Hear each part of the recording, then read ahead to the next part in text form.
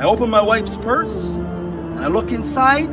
Lo and behold, the first thing that I see inside is a paracetamol Tylenol, subhanallah. Now, brothers and sisters, when we have pain, first thing we run to, paracetamol Tylenol. Let me go, grab it, this and that. Now wait, a sheikh narrated this story to me and he said, look, every time I have pain in my body, I recite this dua and the pain goes away.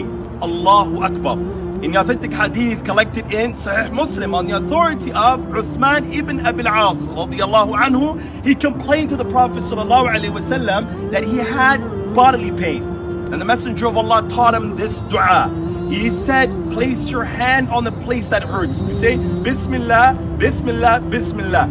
A'udhu billahi وقدرته من شر ما أجد وأحاذر You say that seven times. Bismillah three times. Second dua seven times. And it's going to go away inshallah. Brothers and sisters, let the sunnah go forth and don't stop it.